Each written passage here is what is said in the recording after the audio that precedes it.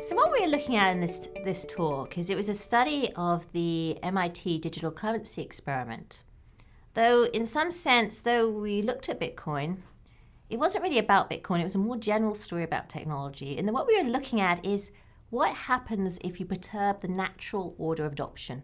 Or classic technology question, can you speed up adoption? And what we find is that attempts to do that can backfire if, in doing so, you lead natural early adopters to not feel unique anymore. In that, what we found is that if we took someone who naturally be the first to adopt a technology and we didn't allow them to adopt first, they tend to abandon the technology. In other words, you need a slow ramp up when you're spreading a technology, just in order that the people who naturally early adopt technologies, the technology experts, can feel unique.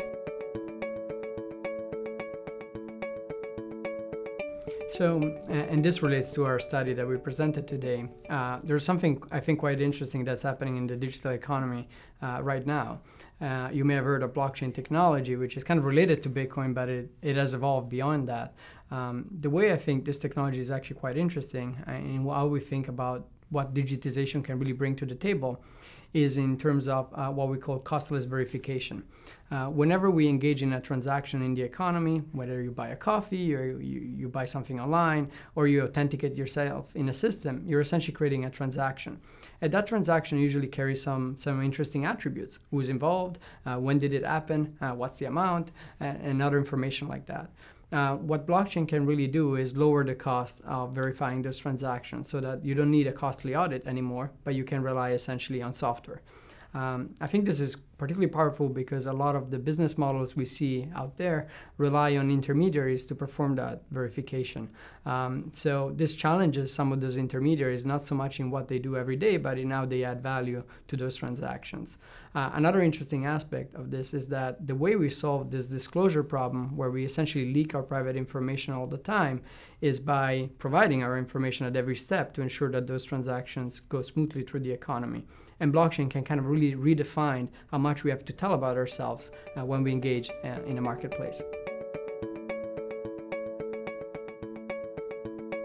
I'm really glad that Christian brought up privacy because for me, the flip side of verification and digital verification is really questions about how it affects consumers' privacy and also how it affects firms' relationships with consumer data and the ability to keep their customers' data private.